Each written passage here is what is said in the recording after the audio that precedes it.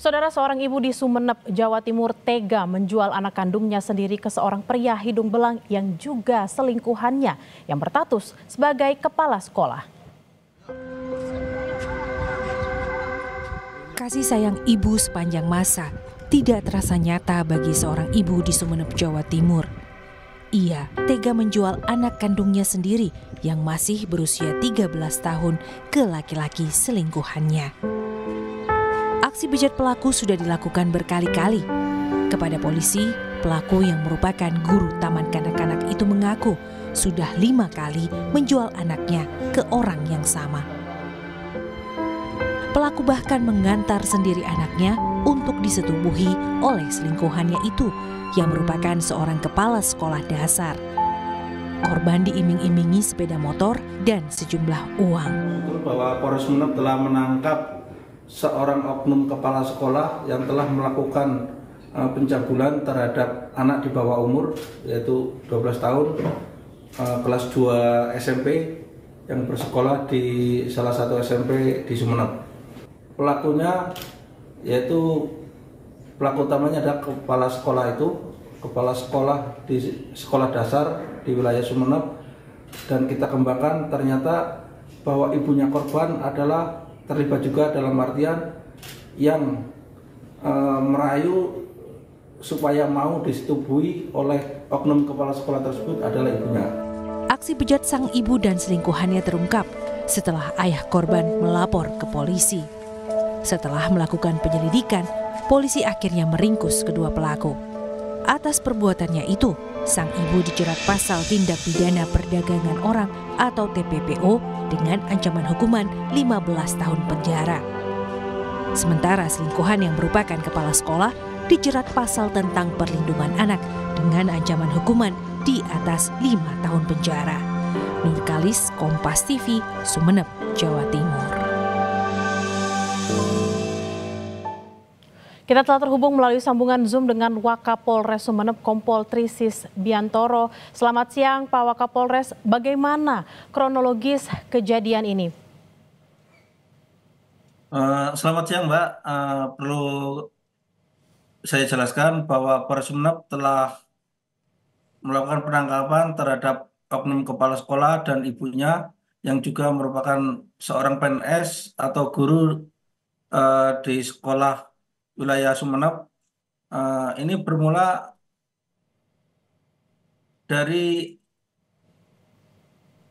korban itu ketahuan oleh sepupunya di mana HP korban itu dilihat oleh sepupunya ada foto-foto bugil atau telanjang dan ditanya untuk apa dan kemudian oleh sepupunya dilaporkan ke bapaknya korban sehingga bapaknya korban melapor ke Polres dan kita langsung tanggapi, kita periksa, kita kembangkan dan kita tangkap oknum kepala sekolah dan ibunya korban yang tega menjual anaknya kepada kepala sekolah tersebut, di mana kepala sekolah tersebut adalah selingkuhan dari ibu korban sendiri, yaitu kepala sekolah melakukan terhadap tersang ulangi terhadap korban uh, dengan beralibi agar perselingkuhannya tidak diketahui oleh orang banyak dan biar mendapat restu dari istri sahnya kepala sekolah tersebut. Dan korban juga diiming-imingi akan dibelikan sepeda motor metik berjenis Vespa. Seperti itu, Mbak. Pak Wakapolres, apakah ada iming-iming dari uh, apakah itu ibu kandung atau mungkin dari kepala sekolah atau ada ancaman terhadap uh, korban?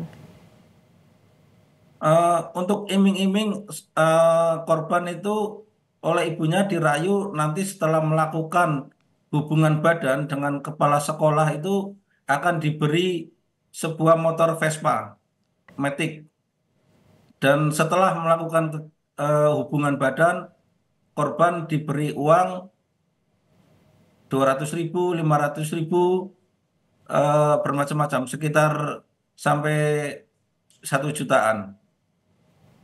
Pak Kapolres tadi Anda sempat mengatakan ada ancaman. Siapa yang mengancam korban? Apakah ibu kandung ataukah uh, kepala sekolah? Oh, Tidak diancam, hanya korban dirayu, diiming-imingi akan diberi atau dibelikan sepeda motor Vespa. Pak Biantoro, apakah ya, ibu kandung tinggal bersama anaknya? Uh, selama ini ibu kandung dan anaknya satu rumah karena ibu kandung dengan bapaknya korban itu pisah ranjang dan korban tinggal serumah dengan ibu kandungnya. Yang kemudian dari peristiwa pisah ranjang itu menjalin hubungan dengan oknum kepala sekolah tersebut yang berjalan sejak 2019. Pak Kapolres, lalu bagaimana dengan kondisi korban saat ini? Apakah sudah ada pendampingan terhadap korban yang diberikan dari uh, Kapolres Sumeneb? Untuk korban saat ini masih depresi dan ada pendampingan dari penyidik PPA untuk membawa korban ke psikolog uh, eh, PPT Polda Jawa Timur ya untuk mengobati rasa traumanya biar tidak trauma lagi. Lalu apa Pak ancaman hukuman bagi kedua pelaku baik ibu kandung maupun uh, kepala sekolah itu sendiri?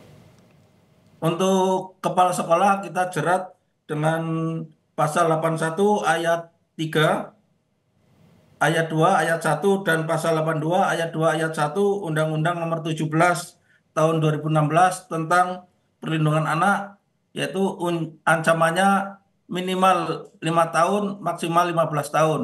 Karena tersangka adalah kepala sekolah, tenaga pendidik, berarti kita tambah sepertiganya. Dan untuk ibu kandungnya yang tega menjual anak kandungnya kepada tersangka oknum kepala sekolah tersebut kita jerat dengan pasal 2 ayat 1 Undang-Undang nomor 21 tahun 2007 tentang pemberantasan tindak pidana perdagangan orang dengan ancaman hukuman minimal lima tahun penjara.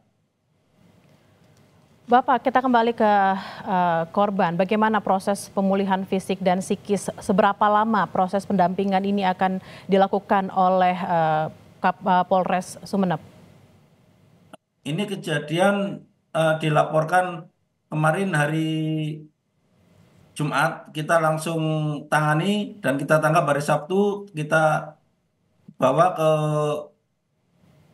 psikolog PPT Polda Jatim dan sementara baru sekali masih tahap pendalaman oleh psikolog dan butuh waktu untuk pemulihan.